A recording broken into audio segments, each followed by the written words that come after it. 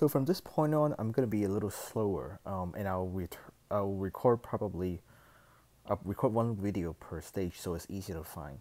Um, since it sounds like there's, it's more likely for people to have issues with stages after this. So here we go.